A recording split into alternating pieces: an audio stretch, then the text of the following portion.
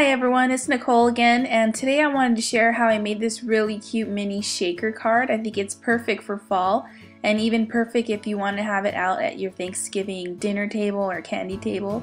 So I'm starting out here uh, sharing the products that I'm using. I use the wood veneers, the lawn cocoa trimmings, these walnut lawn fundamental cards. I'm also using this sweater weather stamp set, the small stitch ring rectangle stackables, and a couple different types of sequins that I have here from the Pretty Pink Posh shop. And I'm also going to be using the Versamark um, ink here because I'm going to be doing some embossing. I'm also using this Scotch 3D um, adhesive foam for the shaker card part. And I also bought this um, really big pack of clear vinyl covers. It's just like acetate. Actually, I think it's probably the same exact material. It's this huge stack and um, this is probably going to last me a really long time. I bought this at Kelly Paper. Now I'm going to start off by taking out one of these note cards here. And I think these are really cute with the little wood grain pattern. And I'm going to take the these stackables here and just try to figure out which size is going to work best because I want the walnut note card to be the base and then I'm going to need a panel as well where I'm going to be designing. So this one fits perfectly actually. It's the second to the largest. So I'm just going to take some of this Neenah Desert Storm cardstock and off camera I went ahead and cut that out and just testing it here on the paper. Now I'm going to take this really cute frame and I'm just going to be stamping that here and embossing it in white. Okay, so after I went ahead and inked that up with the Versamark ink, I'm just going to go ahead and place this here on the top portion of the panel. Next I'm going to be taking some of my white embossing powder and I'm just going to sprinkle some of that over on top. And then I'm going to take my heat tool and set that. And I really like how the white looks on the kraft cardstock here. That looks really pretty. Next I'm going to be taking some really sharp scissors and what I want to do is cut out the inside of the frame because that's where the shaker part's going to be. So I'm starting off here by cutting out a majority of the center and I'm going to take the scissors and go underneath the paper now and I'm going to get really close to the border. I found that it was really easy to do that this way.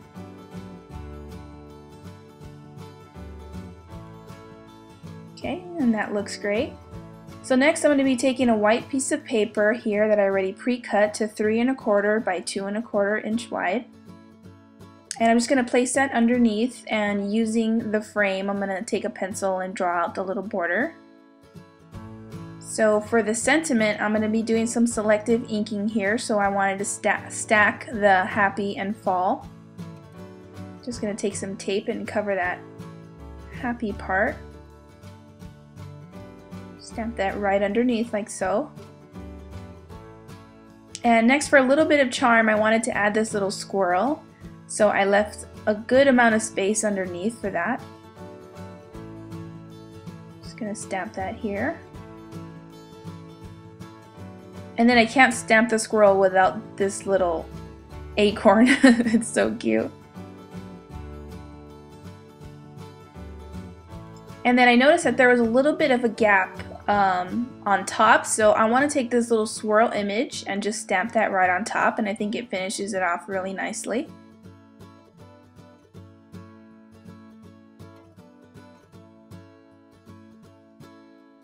Okay, and now I'm just going to go ahead and do some Copic coloring.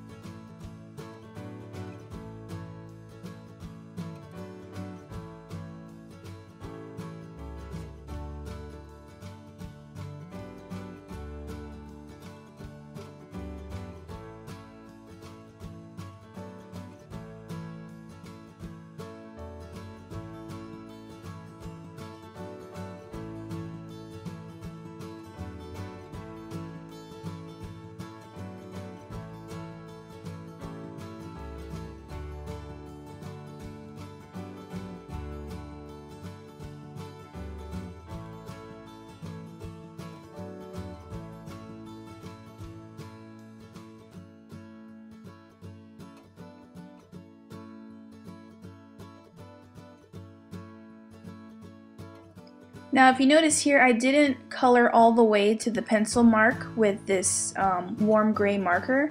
And that's because I learned the hard way that once you color over a pencil marking with a Copic marker, you can't erase it. It like seals it in there. So that's just a little tip.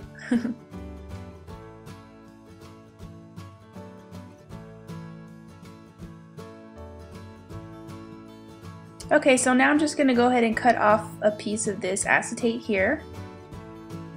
And then I'm going to adhere that to the back of the panel. Just using a tape, uh, tape runner.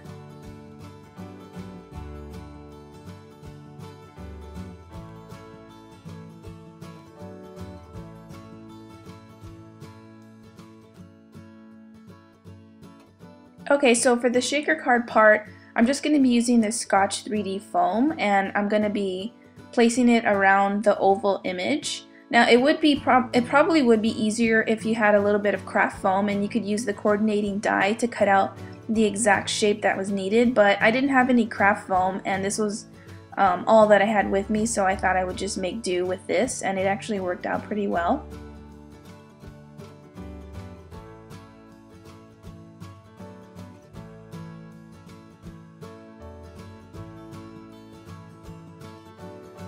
And you could also double up on the layers here, but I just wanted to have one layer since it was a mini shaker card and um, there was also a little squirrel image on the bottom that I didn't want to get covered with sequins. So um, with the one layer of the 3D foam, they kind of get, um, not, they don't get stuck, but they're just um, like when you shake them and then it's the card is upright, they kind of stay up there and I think that looks really cool. But if you would rather have them um, all fall down to the bottom, you could just double up on the 3D foam.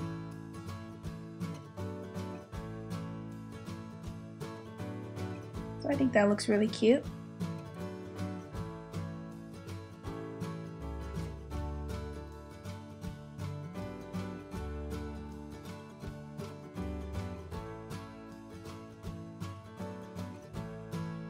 Now I'm just going to go ahead and place that right over top here.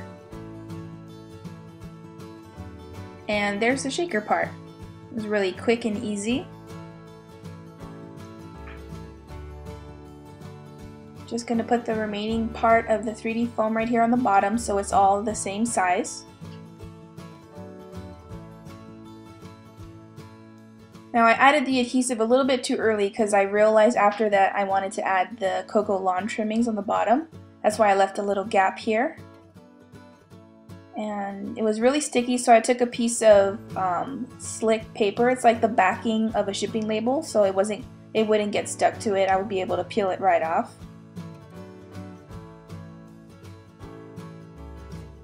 But now I know next time I just I won't add the adhesive first. I'm just gonna create a quick little bow and peel that right off and then I'm just going to place that panel right over the card here.